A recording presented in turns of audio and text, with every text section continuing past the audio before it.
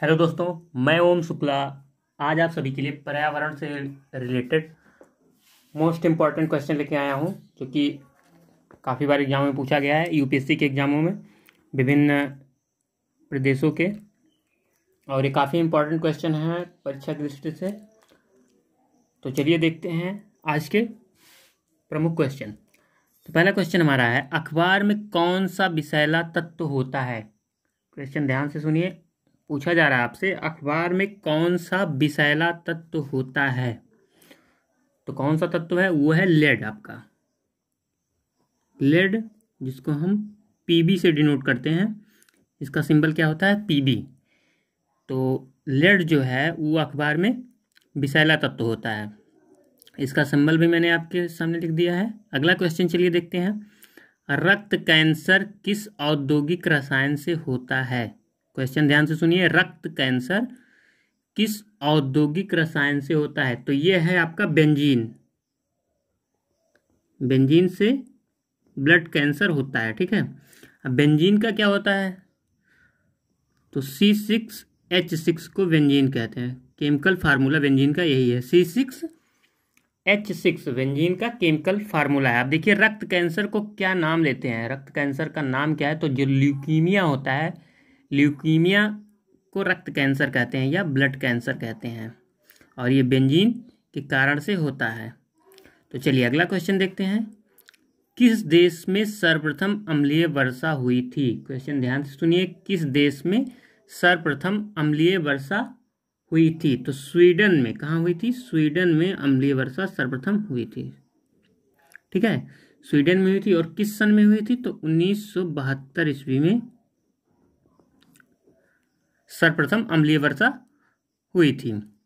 चलिए अगला क्वेश्चन देते हैं, देखते हैं, स्मोक सिटी ऑफ़ इंडिया की उपमा किसे प्रदान की गई है? क्वेश्चन ध्यान से सुनिए, स्मोक सिटी ऑफ़ इंडिया की उपमा किसे प्रदान की गई है? तो ये है आपका कोलकाता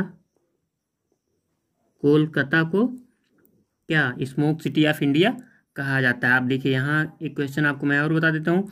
कोलकाता किस नदी के किनारे बसा है? तो हुगली नदी के किनारे बसा है। अगला क्वेश्चन बहुत ही इंपॉर्टेंट क्वेश्चन है। काफ़ी बार एग्ज़ाम में पूछा गया है, विभिन्न एग्ज़ाम में डाप्सन इकाई का प्रयोग किया जाता है। क्वेश्चन ध्यान से सुनिए। डाप्सन इकाई का प्रयोग किया जाता है। किसमें किया जाता है डाप्सन इकाई का प्रयोग? तो ओजोन परत की, ओजोन परत की मोटाई मापने में इसका प्रयोग किया जाता है किसमें? ओजोन परत की मोटाई मापने में इसका प्रयोग किया जाता है। अब ओजोन का क्या फार्मूला होता है? तो O three O three ozone का फार्मूला है, फार्मूला होता है। ऐसे भी पूछा जा सकता है ओजोन के बारे में आपको ओ थ्री नाम देके भी। अगला क्वेश्चन देखते हैं, चलिए। भारत में सबसे पहला जैव मंडलीय आरक्षित क्षेत्र कहाँ स्थापित हुआ? क्वेश्चन ध्यान से सुनिए। भारत में सबसे पहला जैव मंडलीय आरक्षित क्षेत्र कहाँ स्थापित हुआ? तो नीलगिरी में। कहाँ पे स्थापित हुआ? नीलगिरी में।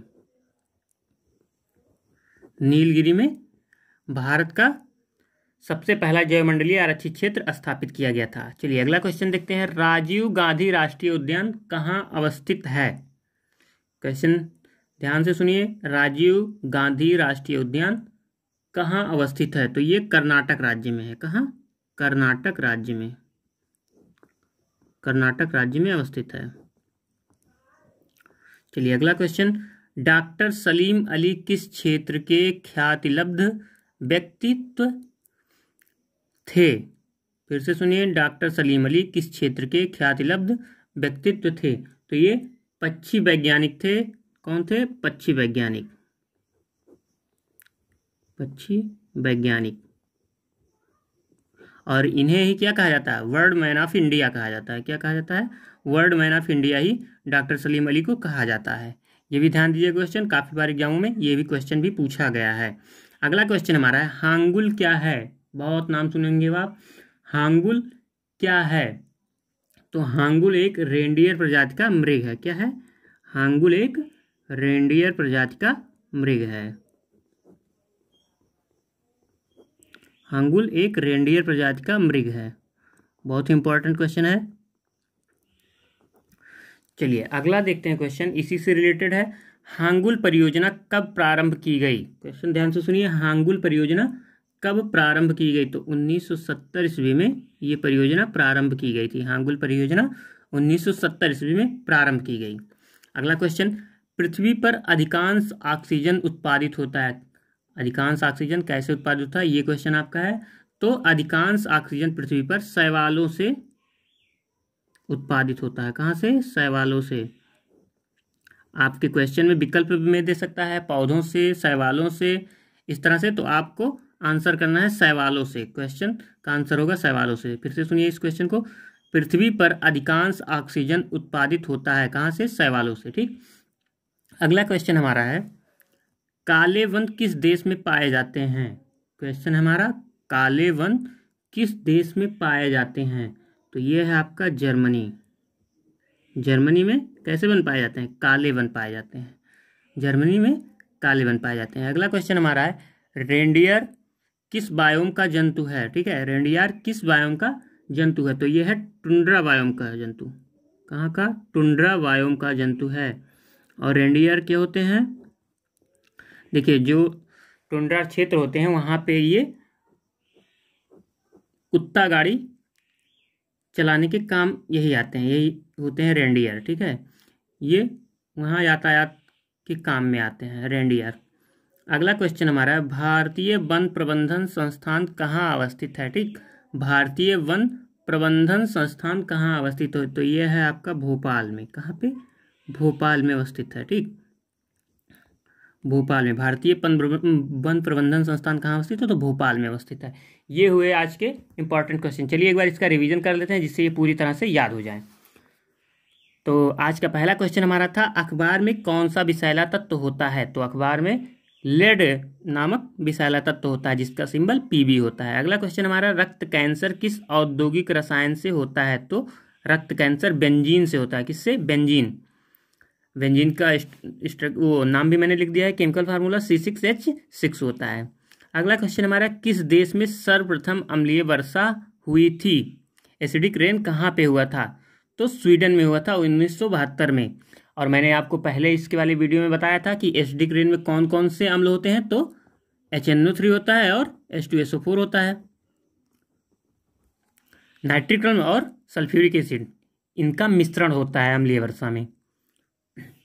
अगला क्वेश्चन हमारा है स्मोक सिटी ऑफ़ इंडिया की उपमा किसे प्रदान की गई है? तो smoke city of India Kolkata को कहा जाता है, किसको? कोलकाता को। अगला क्वेश्चन हमारा है डाप्सन इकाई का प्रयोग किया जाता है। तो डाप्सन इकाई का प्रयोग ओजोन परत की मोटाई मापने में किया जाता है। किसकी? ओजोन परत की मोटाई मापने में। अगला क्वेश्चन है, भारत में सबसे पहला जैवमंडलीय आरक्षित क्षेत्र कहाँ स्थापित हुआ? तो ये हुआ नीलगिरी में। कहाँ? नीलगिरी में स्थापित हुआ। अगला क्वेश्चन राजीव गांधी राष्ट्रीय उद्यान कहाँ अवस्थित है? तो राजीव गांधी राष्ट्रीय उद्यान कर्नाटक राज्य में अवस्थित है। Next question doctor Salim Ali किस क्षेत्र के ख्यातलब्ध व्यक्तित्व थे? तो वह पक्षी वैज्ञानिक थे, इन्हें ही वर्डमैन ऑफ़ इंडिया भी कहा जाता है। अगला क्वेश्चन हांगुल क्या है? तो हांगुल रेंडियर प्रजाति का एक मृग है। क्वेश्चन अगला, हांगुल परियोजना कब प्रारंभ की गई? तो हांगुल परियोजना 1970 ईस्वी में प्रारंभ की गई। नेक्स्ट क्वेश्चन पृथ्वी पर अधिकांश ऑक्सीजन उत्पादित होता है। तो पृथ्वी पर अधिकांश ऑक्सीजन शैवालों से उत्पादित होता है। अगला क्वेश्चन हमारा है, काले वन किस देश में पाए जाते हैं? तो काले वन कहाँ पाए जाते हैं? जर्मनी में पाए जाते हैं। अगला क्वेश्चन है, रेंडियार किस बायोम का जंतु है? तो रेंडियार टुंड्रा बायोम का जंतु है। भारतीय वन प्रबंधन संस्थान कहाँ अवस्थित है? क्वेश्चन हमारा, भारतीय वन प्रबंधन संस्थान कहाँ अवस्थित है? तो ये भोपाल में अवस्थित है। तो ये रहे आज के हमारे इंपॉर्टेंट क्वेश्चन आशा करते हैं आपको ये क्वेश्चन अच्छे से समझ में आए होंगे और आपको ये याद भी हो गए हो गए होंगे। अगर आपको ये वीडियो पसंद आता है तो हमारे चैनल को सब्सक्राइब करें लाइक करें और अधिक से अधिक लोगों में इसको शेयर करें। इसी तरह से हम आगे वीडियो में आपको पर्यावरण और अन्य टॉपिकों से रिलेटेड इंपॉर्टेंट क्वेश्चन और जो थ्योरीज हैं उसको बताते रहेंगे। धन्यवाद।